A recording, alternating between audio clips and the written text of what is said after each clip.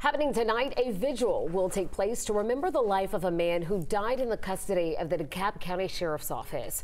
Deputies say 27 year old Christon Collins was found unresponsive in his jail cell on March 13th and died two days later in the hospital. The sheriff's office says he had a medical emergency. There is a candlelight vigil tonight at 7 p.m. outside of the jail. Organizers say it's happening at the same time as Collins' funeral.